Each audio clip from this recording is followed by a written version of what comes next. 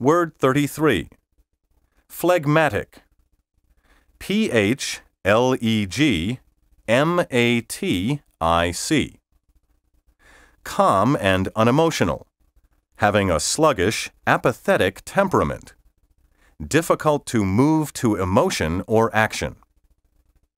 Phlegmatic comes from the Greek phlegmatikos, pertaining to the humor phlegm, spelled P H L E G M. This phlegm is different from that slimy stuff you cough up when you have a cold. In ancient and medieval physiology, there were four humors, or bodily fluids, thought to determine a person's health or disposition. Blood, also known as the sanguine humor, which made you upbeat, cheerful, and confident. Choler, also known as yellow bile, which made you passionate or irascible. Melancholy, also known as black bile, which made you gloomy or dejected. And phlegm, which made you either cool and indifferent or dull and sluggish.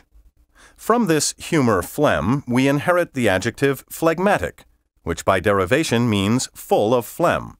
Hence, having a sluggish, apathetic temperament, calm and unemotional, difficult to move to emotion or action.